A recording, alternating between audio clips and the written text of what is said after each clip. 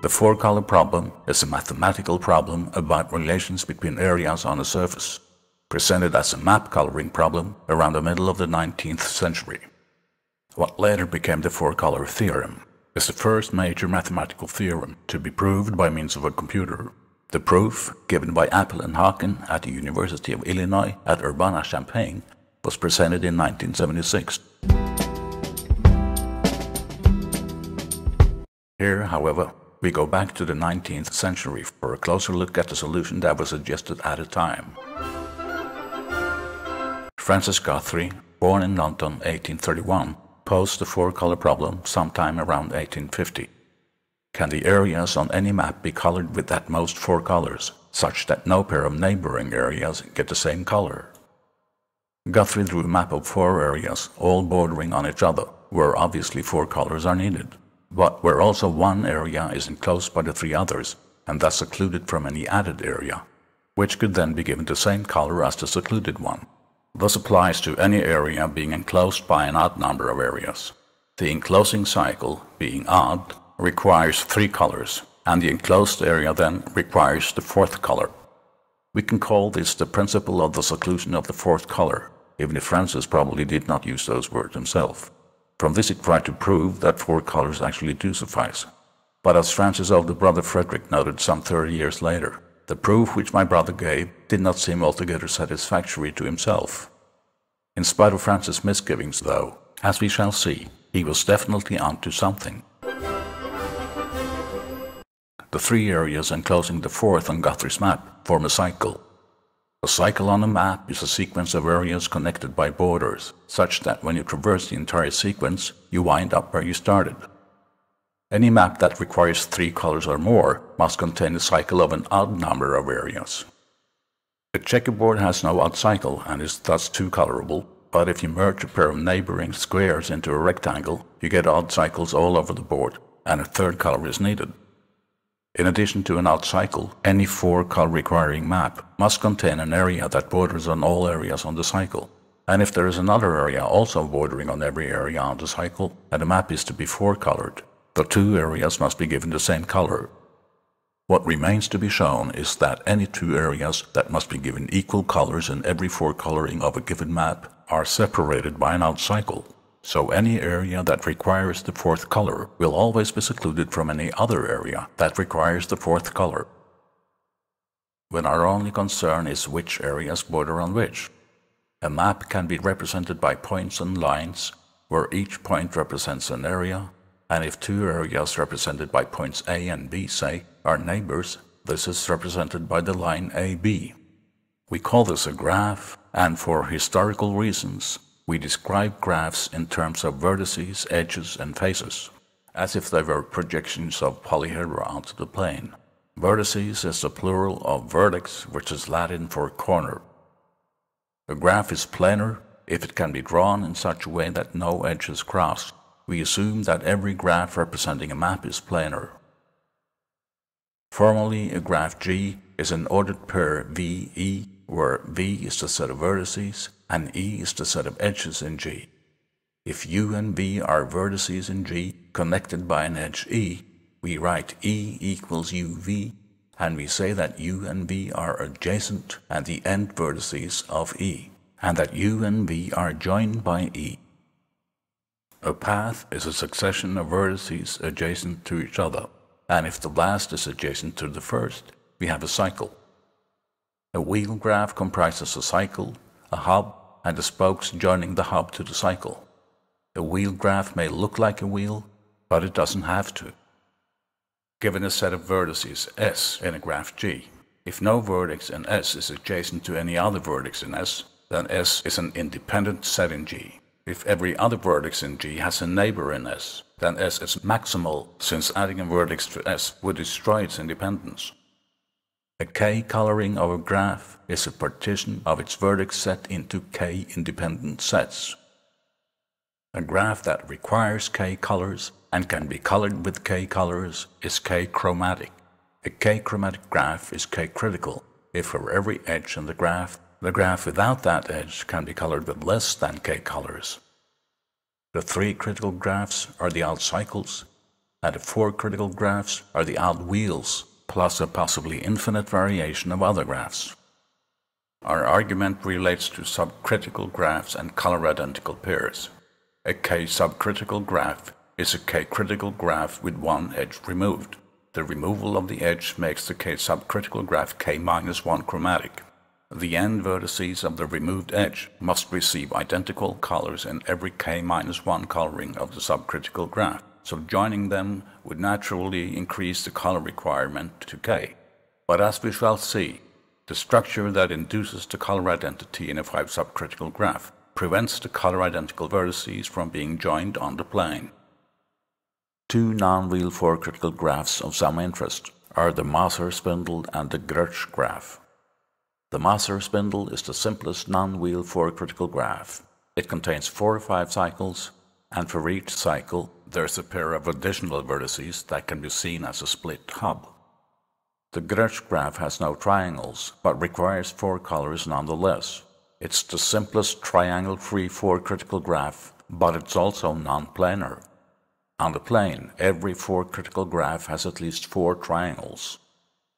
The set of four critical graphs has defied any attempt at characterization, so trying to fit the principle of the seclusion of the fourth color in with the characterization of the four critical graphs simply won't work. To see where the principle fits in, we need to look at subcritical graphs and color identical pairs. Let C be a four critical graph wherefrom we remove an edge with n vertices u and v and let S be equal to C minus UV. S is then a 4 subcritical 3 chromatic graph. Now, in every 3 coloring of S, U and V must have equal colors, because if there were a 3 coloring of S in which U and V had different colors, that would also have been a 3 coloring of C, and C could not have been 4 critical. We say that U and V form a color identical pair, but how does the graph induce color identity? The subcritical graph S is a sequence of single vertices and edges. Let W be the middle vertex, and let D and E be the edges. We start by coloring U red. Then D is constrained by U to green and blue. W is constrained by D to red. E is constrained by W to green and blue. And V is constrained by E to red. This gives us our color identity, UV plus the color identical pairs UW and VW. We say that a vertex constraint to a single color is fixed to that color, and that a k-1 critical subgraph of a k-chromatic graph constraint to a set of k-1 colors is fixed to that color set, even if its vertices are not color fixed individually. S is then a color fixation chain. When in a k-chromatic graph, a single vertex V is adjacent to every vertex in a k-1 critical subgraph S. V and S are mutually color fixed. When S gets its k-1 colors, V is fixed to the color S did not get, and when V gets its color, S is fixed to the remaining k-1 colors. It is possible for a vertex to be color fixed by an independent set of k-1 vertices. This works nicely with three colors, but with four colors, you have to go above the plane. In a graph that has no triangles, but still requires at least four colors, you're also above the plane, and without the mechanical coloring constraints of the triangles, a color identity is given solely by the set of possible distributions of k colors among the cycles in a graph. On a plane, however, the triangles rule, and here the only way a single vertex can be color fixed in a four chromatic graph is by being adjacent to every vertex in a three critical graph, that is, an odd cycle. The combination of the vertex and the cycle is a wheel, and with an odd cycle, we get an odd wheel, which is the simplest type of four critical graph, and also the only type of four critical graph in which a vertex can be color fixed. This is of course very important, and we want to make it very clear.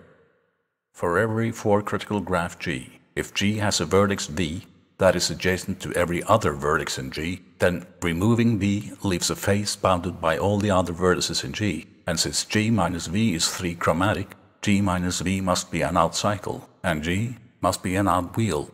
And for every non-wheel four critical graph G, and for every vertex V in G, there must be at least one other vertex U in G, independent of V, that can be given the same color as V. Or in other words, the odd wheel is the only four critical graph that has a maximal independent set with only one member.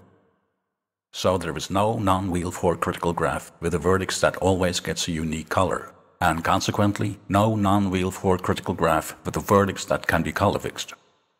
Given two vertices u and v that are both adjacent to every vertex in the same odd cycle, regardless of how the cycle is colored, u and v must have equal colors.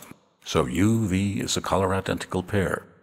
But to avoid edge crossing and non-planarity, u and v must be on opposite sides of the cycle. This is the principle of the seclusion of the fourth color applied to planar graphs. The two vertices and the cycle make up the pair of cycle-sharing wheels. When two odd wheels share a hub, their cycles are fixed to the same color set. Given such a pair, with a shared hub on the outside of both, place one hub with spokes inside each cycle. This gives a color fixation chain of four wheels, where the first share a cycle with the second, the second share a hub with the third, and the third share a cycle with the fourth. We can describe this kind of arrangement as a chain of alternating hubs and cycles, where all the hubs are fixed to the same color and all the cycles are fixed to the same color set. Every sub-chain that starts and ends for the hub is then a subcritical of a five-critical graph. Every cycle in the four-chromatic color fixation chain divides the rest of the chain into two parts, the part inside and the part outside the cycle. So for every pair of color identical hubs in the chain, however close or distant, there's at least one cycle separating the two. We can summarize our argument as follows. Given a five critical graph G, for every edge E equal to UV in G, there's a four chromatic five subcritical graph H equal to G minus E for the color identical pair UV. If H is non-planar, so is G, but otherwise the only structure that can induce a color identity and keep things on the plane is a color fixation chain of overlapping odd wheels where U and V are separated by a cycle. So even if H is planar, the edge that joins U and V in G must cross the cycle that separates them, making G non-planar. So in the end, the diversity and unruliness of the four critical graphs has no bearing on the four-color problem, and Francis Guthrie had a right hunch after all. The five subcritical color identity is itself contingent on the seclusion of the fourth color, which prevents the color identical vertices from being joined on the plane.